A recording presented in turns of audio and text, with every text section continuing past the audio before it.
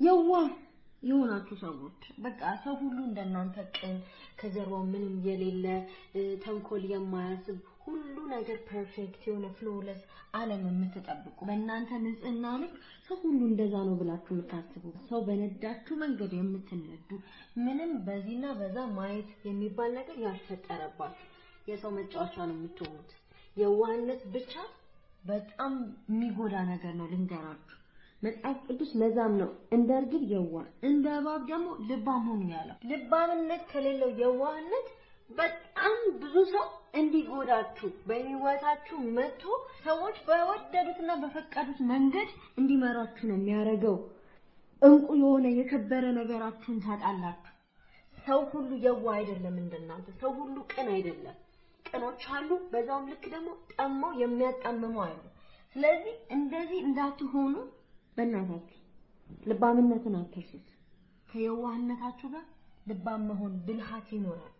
ነገሮችን ከተለያየ perspective ለማየት መሞከር ይኖራችሁ።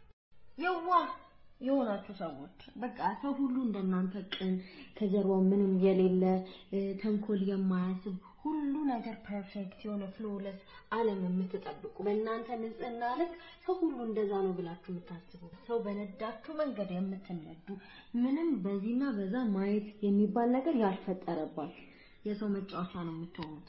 የዋህነት ብቻ በጣም የሚጎዳ ነገር ነው ልንገራችሁ። መጽሐፍ ቅዱስ ለዛም ነው እንደ እርግብ የዋህ እንደ እባብ ደግሞ ልባም ሁኑ ያለው። ልባምነት ከሌለው የዋህነት በጣም ብዙ ሰው እንዲጎዳችሁ በህይወታችሁ መጥቶ ሰዎች በወደዱትና በፈቀዱት መንገድ እንዲመራችሁ ነው የሚያደርገው። እንቁ የሆነ የከበረ ነገራችሁን ታጣላችሁ። ሰው ሁሉ የዋህ አይደለም እንደናንተ። ሰው ሁሉ ቅን አይደለም። ቅኖች አሉ፣ በዛውም ልክ ደግሞ ጠመው የሚያጣምሙ አሉ። ስለዚህ እንደዚህ እንዳትሆኑ በእናታችሁ ልባምነትን አትርሱት። ከየዋህነታችሁ ጋር ልባም መሆን ብልሃት ይኖራችሁ። ነገሮችን ከተለያየ perspective ለማየት መሞከር ይኖራችሁ።